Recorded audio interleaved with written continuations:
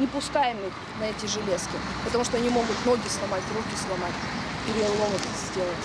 Из-за этого они туда у нас просто не ходят. Мы сидим на лавочке и кричим, не беги туда, не ходи туда, потому что полезет туда и сломает ноги руки.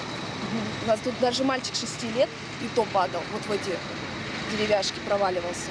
Проще гулять по полосе препятствий. Родители боятся отпускать детей играть на этой площадке. Ограждения у нее давно сломаны, пол сгнил, столбы расшатались.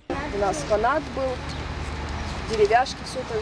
Ну, тут еще какая-то лестница стояла. Сейчас это все сломалось. Железки сломались, деревяшки сломались, все сломалось. Эта площадка появилась на Весиме более 10 лет назад. Тогда современным красочным городком гордились и ставили в пример. Но постепенно комплекс начал разрушаться, краски выгорели, и теперь площадка не нужна никому, кроме малышей и молодых мам.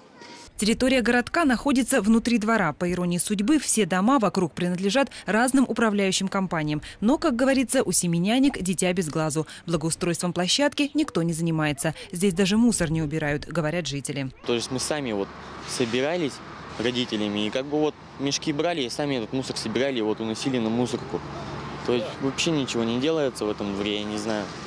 Другие дворы я смотрю, у них и площадки нормальные, у них всегда чисто, кто-то за этим смотрит.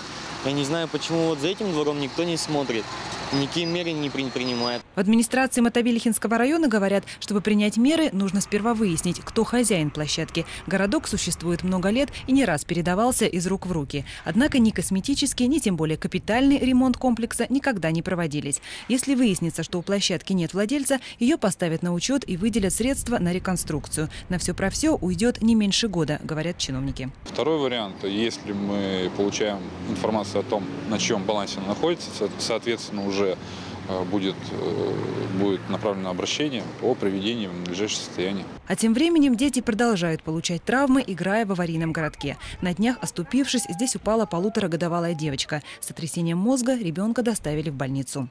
Екатерина Полевщикова, Василий Дулепинских, телевизионная служба новостей.